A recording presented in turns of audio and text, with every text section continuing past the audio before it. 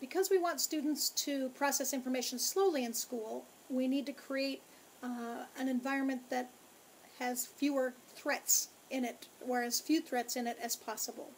Types of threats that we might have in school that might inhibit learning would be physical threats to kids, form of bullies, intellectual threats where kids feel like they aren't academically competent, emotional threats where people are harassing or teasing others, cultural and social threats where a child feels like they're not a part because of the way they look or they, the way they talk, the language they speak, or the cultural traditions they have. Um, or threat might be resource restriction where a child doesn't have the food they need, the sleep they need, um, the basic needs they need.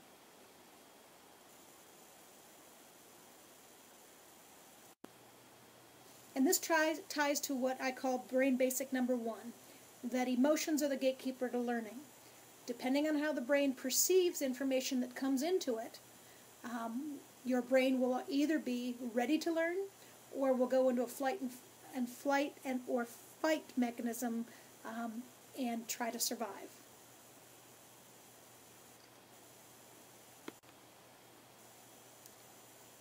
Information enters our brain through not just five senses, but 19 senses. So we have a lot of different ways that we take in information.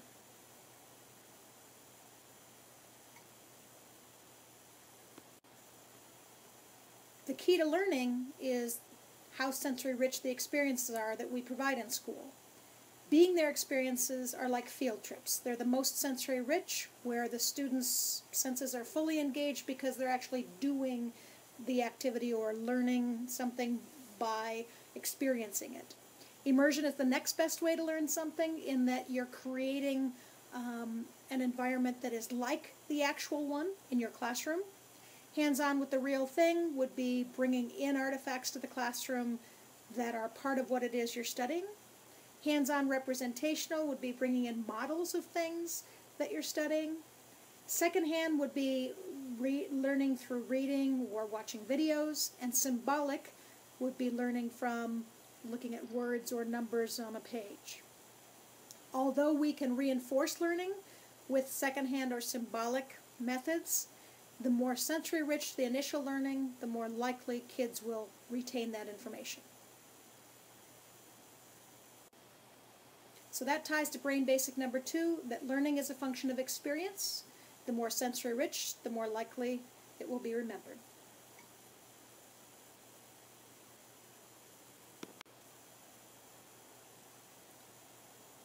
Just try to read the paragraph that you see there and then make any conclusions you can about what this tells you about the brain.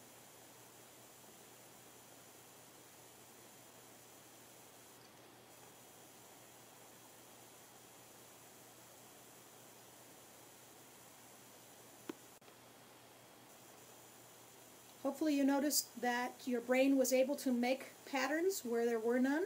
Other than the first and last letter being provided for you, the brain fills in the gaps because the brain is a pattern-seeking device. It's always looking for patterns in what it's perceiving from the environment and always trying to look for things that are familiar.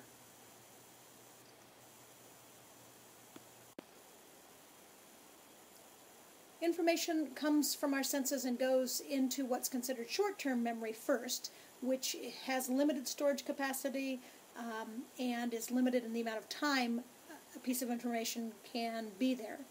Uh, although our sensory or our short-term memory increases with age up till age 15 where we can remember at least seven things at any one time, um, it's still rather limited in that that's all we can remember, uh, so it doesn't help us much in the school setting.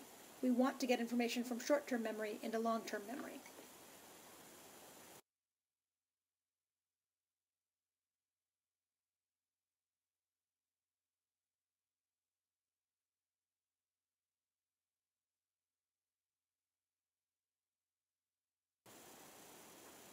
While short-term memory serves its purpose, our ultimate goal in teaching is long, getting information into long-term memory.